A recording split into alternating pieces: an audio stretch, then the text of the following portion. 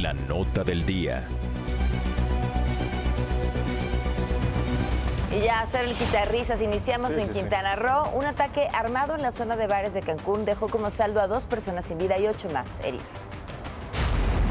En Cancún, Quintana Roo, a las 20.56 horas del 6 de mayo, un grupo criminal comenzó a disparar contra las personas que se encontraban en el bar Las Micheladas de la Cabá, en la región 229 de la ciudad. La Fiscalía General de Quintana Roo informó sobre la detención de una persona por su probable participación en los hechos. Extraoficialmente se habló de la detención de tres personas, pero hasta el momento no hay ninguna confirmación de manera oficial.